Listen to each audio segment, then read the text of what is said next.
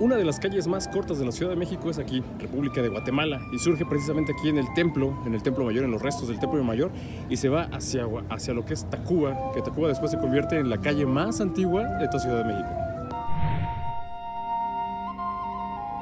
Este es el verdadero punto del nacimiento de la ciudad. 1325 es la fecha en que fue construido este templo mayor.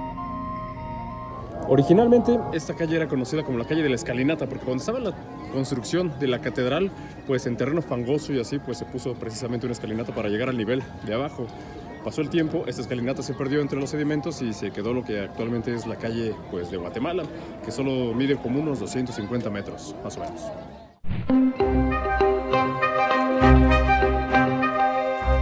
La calle de Guatemala pues nace aquí justamente en el Museo Archivo de la Fotografía, al que a continuación pues voy a entrar. Este edificio fue construido a finales del siglo XVI y tiene una ornamentación de yesería mudájera. El acceso es gratuito y tiene exhibiciones temporales de muchos fotógrafos, así que dependiendo la fecha en la que vengas podrás encontrar una u otra temática en fotografía. Colinda con el número 32, que es el restaurante La Casa de las Sirenas. Hace muchos años, aquí era un hostal.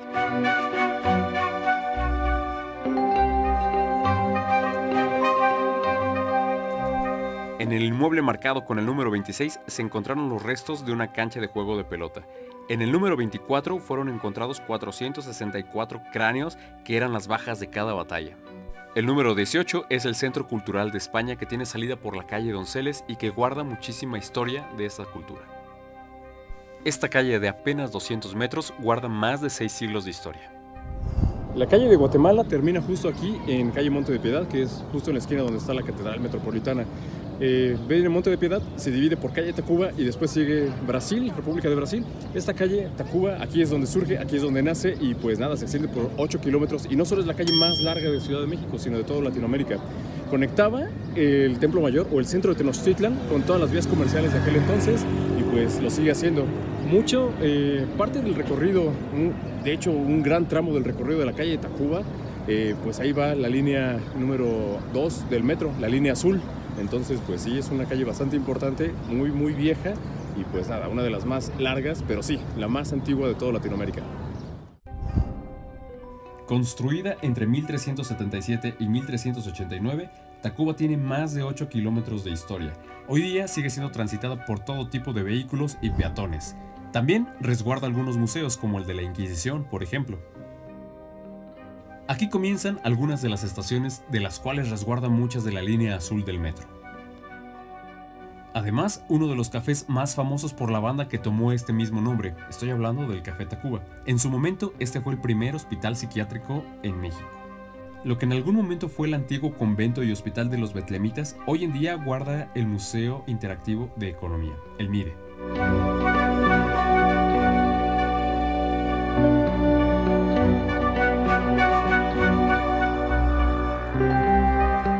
Desde este punto de la calle comienza a verse la Plaza Tolsa. En algún momento de la historia, aquí fue velado los restos de Maximiliano de Habsburgo. Justo antes encontramos el Jardín de la Triple Alianza, que habla por supuesto de la alianza entre Tenochtitlan, Texcoco y Tlacopan. Esto fue hecho en 1430. Los altos relieves fueron hechos por el escultor mexicano Jesús Contreras en 1888. El Museo Nacional de Arte es una de las grandes joyas arquitectónicas que debes visitar en esta calle. Justo enfrente está el Palacio de Minería que fue proyectado por Manuel Tolsa.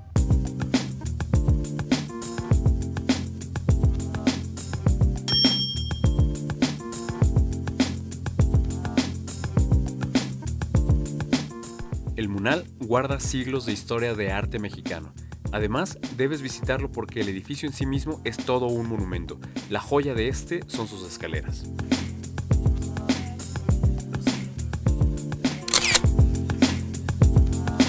La herrería está hecha en bronce y te va a sorprender el nivel de detalle que tiene a lo largo de todo el palacio. Los frescos y los frontones narran historias increíbles de la mitología y de algunas leyendas que le han dado vida a esta parte de la ciudad. Por supuesto, la temática es sacra y además tiene unos salones increíbles con unos plafones maravillosos que no te puedes perder. Estoy hablando del salón principal donde normalmente se hacen conciertos y toda clase de eventos gratuitos que no te puedes perder.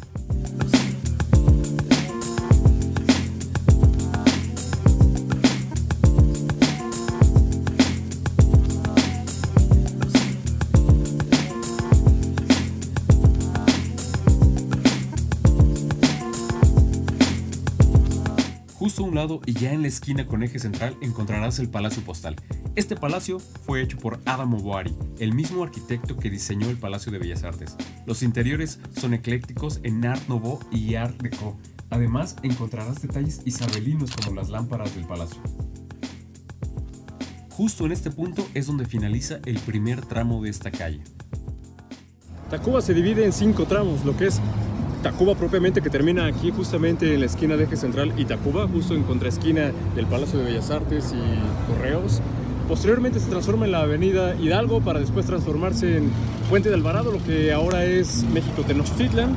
Termina, bueno, o más bien sigue en Riviera de San Cosme y termina con México Tacuba. Ahí culminan sus 8 kilómetros y pues nada, a partir de aquí es Avenida Hidalgo y vamos a ver qué hay en este segundo tramo de la que era la calle Tacuba.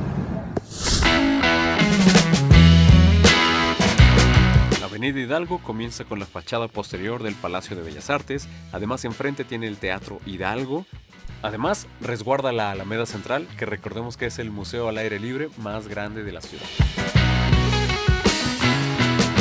Más adelante encontramos el Museo Franz Mayer que cuesta 85 pesos de acceso y los martes es de entrada gratuita. También se encuentra el Museo Caluz que es de arte mexicano y más adelante la estación Hidalgo que lleva el mismo nombre de la avenida.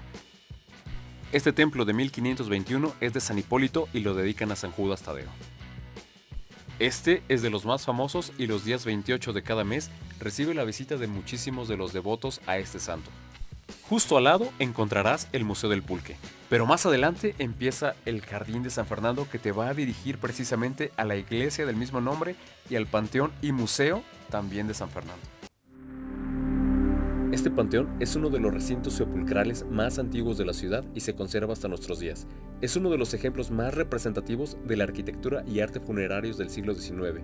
Funcionó entre 1832 y 1872. Aquí está la tumba de Benito Juárez.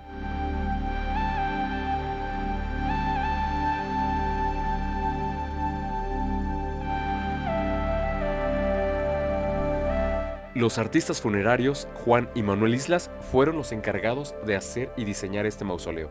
En su interior está la estatua del expresidente apoyado en el regazo de la madre patria y al fondo su frase más emblemática, el respeto al derecho ajeno es la paz.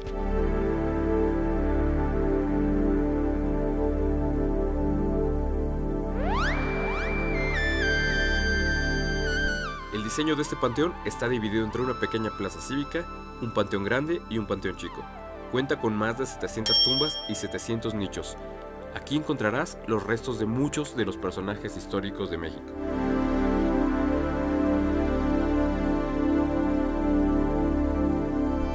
Aquí descansan los restos de Ignacio Zaragoza, Vicente Guerrero,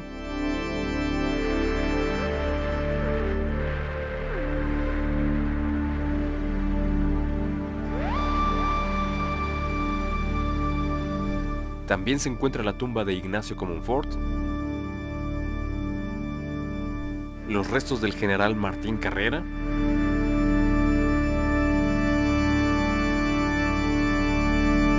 No todos son famosos, aunque también hay tumbas que simplemente te hacen pensar.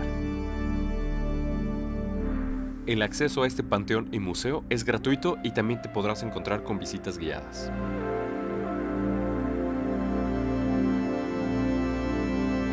La estructura del templo fue dañada por los sismos y permanece cerrada al público. El siguiente tramo es México Tenochtitlan y lo más representativo es el Museo de San Carlos.